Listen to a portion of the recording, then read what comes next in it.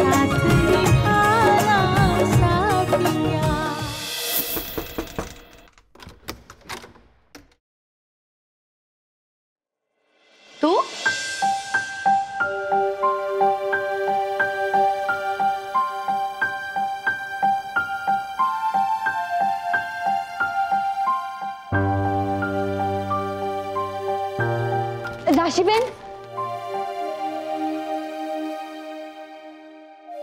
आप एक बार मेरी बात तो सुनिए।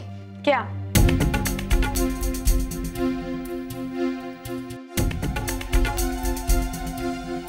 चल।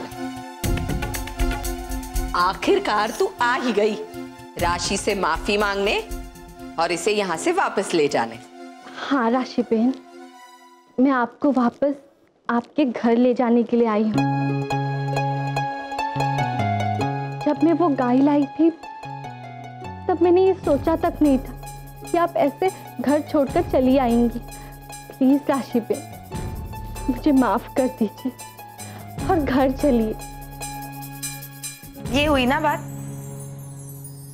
अब तू मुझे वादा कर कि कि ये काकी जी की धमकी देना तो मुझे बंद करेगी और मुझसे ये भी नहीं कहेगी कि जाओ जाके सच बोल। वादा करती है? राशिबेन देवर जी आपको बहुत याद करते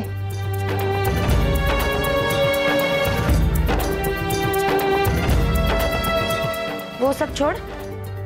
तू पहले तू पहले वादा करती है या नहीं?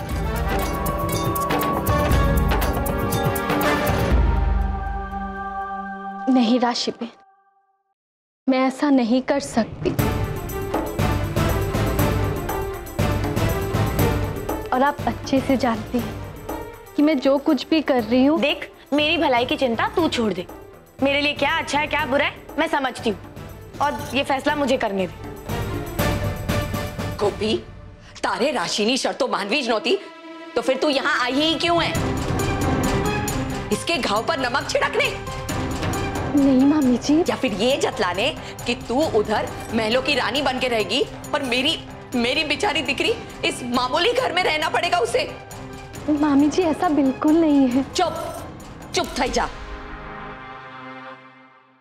हो सकता है कि मेरी बेचारी राशि को मोदी भवन की सुख सुविधाओं की कमी खल रही होगी, पर यह मत भूल कि यहाँ उसकी देखभाल करने के लिए उसकी खुद की माँ है। और माँ का प्यार सारी कमियों की भरपाई कर देता है। तेरे जैसे अनाथ नहीं है वो।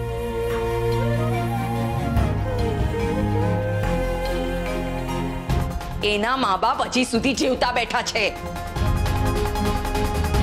ગોપી તું જા મેં નહીં આઉંગી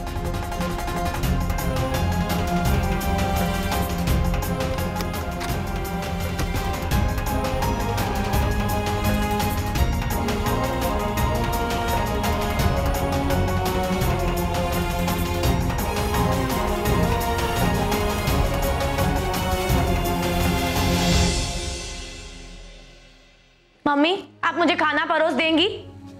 माँ के एक्स्ट्रा प्यार के साथ? ये कबार राज़ी क्यों नहीं होती? सुधी ये नहीं माने मैं अपनी दिक्री को यहीं पे रखूँगी, मारी पास।